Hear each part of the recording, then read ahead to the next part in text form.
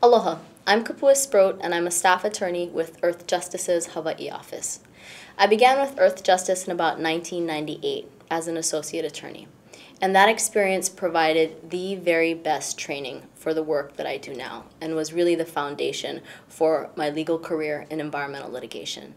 What was really special about that experience was that it wasn't purely theoretical. I, did, I wasn't locked in a library and didn't spend time just doing legal research and writing. But I actually got to get on the ground experience, meeting with clients, getting out into the community, doing site visits, and really doing the real work that provided the building blocks for where I am today. And so I strongly encourage anyone who's considering a career in environmental litigation to explore the options at Earthjustice because it's the very best experience that you can get.